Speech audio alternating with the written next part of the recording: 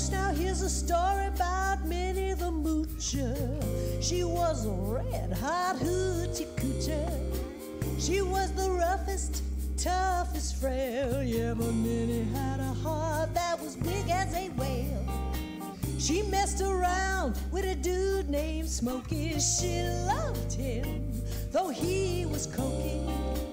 He took her down to Chinatown and he showed her how to kick the gong around.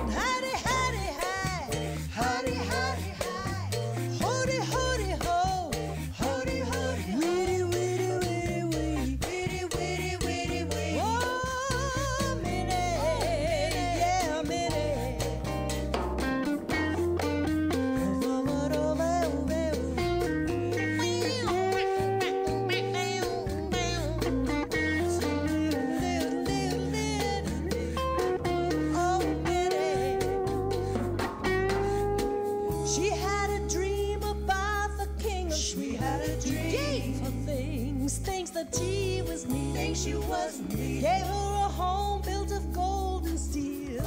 A platinum car with diamond studded wheels. He gave her his townhouse and racing horses.